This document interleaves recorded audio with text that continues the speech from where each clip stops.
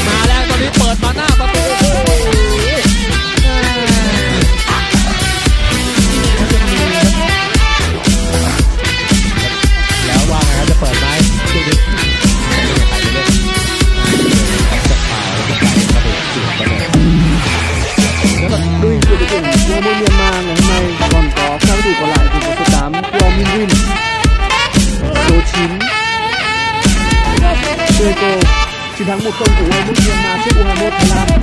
Trong trận đấu ở vòng bảng chúng tôi là bất ngờ.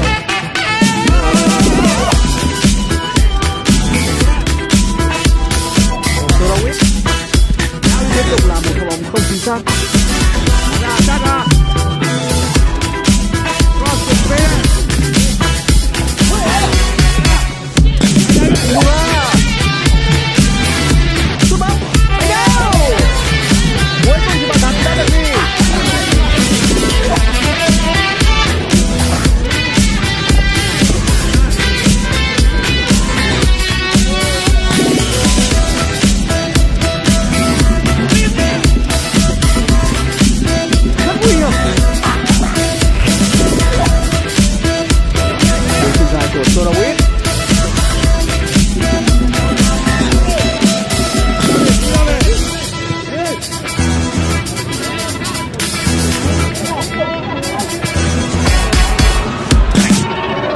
cơ hội dành cho U21 Thái Lan.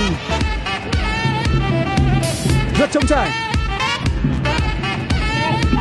Cơ hội dành cho đội tuyển U21 Thái Lan. Đánh đâu bóng. U21 Thái Lan liên tục tổ chức những đưa bóng ra biên.